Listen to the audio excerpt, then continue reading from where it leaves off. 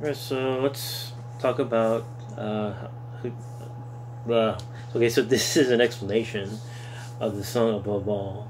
The key of G.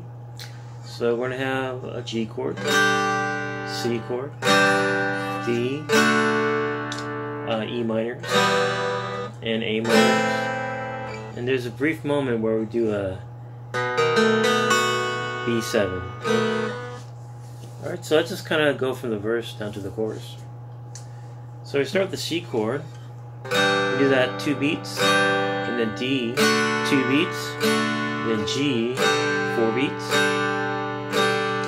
Then we do C, two beats, D, two, then G, we do three beats. And then on the fourth beat, we're going to do D, so it's going to be G, three, and then D one beat, and then E minor, and then G two beats, C two beats, G two beats, here A minor four beats,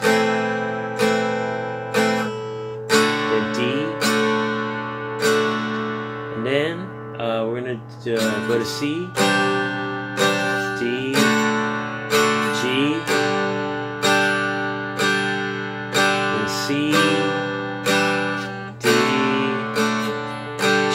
three beats, and then D one beat, E minor, G, C, G, then we, we have A minor, four beats,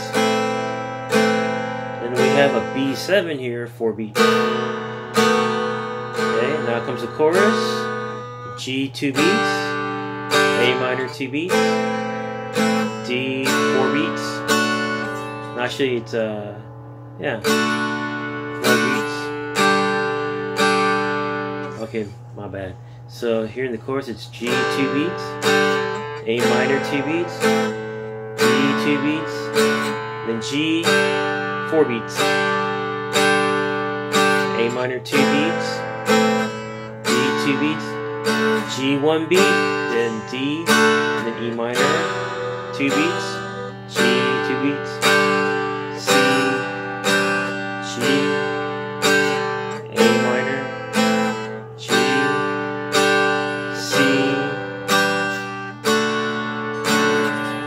go to the chorus again.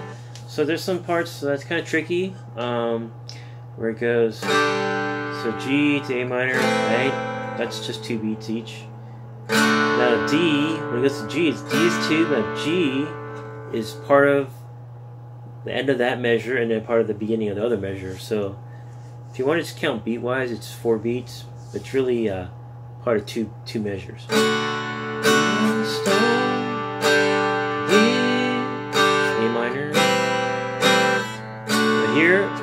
There's a passing chord, the D. Like a rose. So it's like a rose. And then after that, everything is just pretty much gonna be two beats.